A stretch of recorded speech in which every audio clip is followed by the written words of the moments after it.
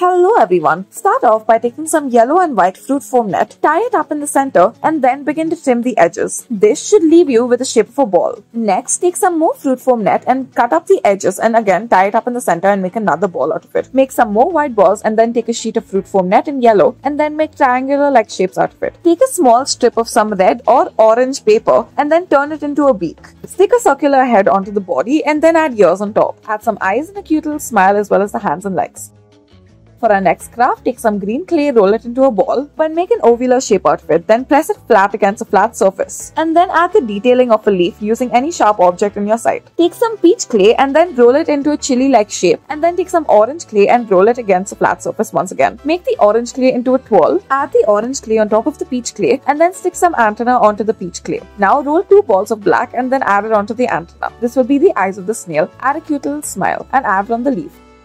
For our next craft, take a yellow sheet of square paper and then fold it over diagonally and then make a conical shape out of it. Fold over the bottom edge and then fold over the edge one more time. Reverse the paper and then fold outwards the foldings that you have initially made. Bend the tip to make a small little head. Fold the sides upwards to make it look like wings and then fold them outwards. Twist the back to make it look like a tail. Once you are done, fill in the beak with orange color and then add eyes to this cute little bird.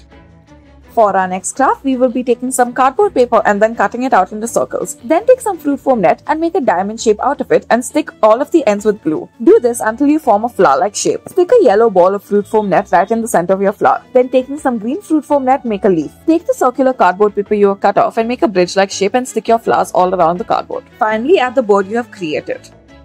For our next craft, take some light pink clay, roll it into a ball and flatten it on any surface. Take a sharp object and make cuts on the top. Make sure that the bottom is curved. Then roll out some small balls of white clay and then stick them onto the top of the paws. Roll out a slightly bigger ball of clay and make a somewhat triangular shape and stick them in.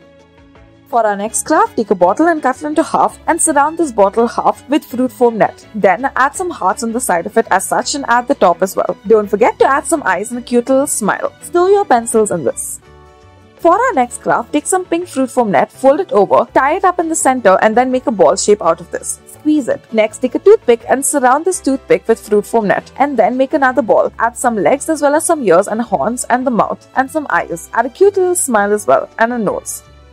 For our next craft, cut out a bottle and then use the bottom half. Cover it with red fruit foam net and using glue stick it together. Cut off the excess or fold it in. Do this on the top and the bottom side of it. Next, cut out a strip of tape and then using some fruit foam net, add it to the top of your creation on either side. Use some glue and add lining to it. Add some flowers to decorate it. And next, add a handle.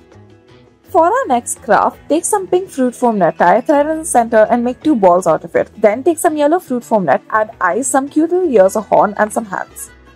For our next craft, take some red clay and make small little balls out of it. You may roll it in your hands and then arrange it in the shape of a circle. After this, add a yellow ball of clay right in the center and add the patterns as shown. Add a green stem underneath as well as a leaf. Add a bouquet and add a bow to it. Thank you for watching.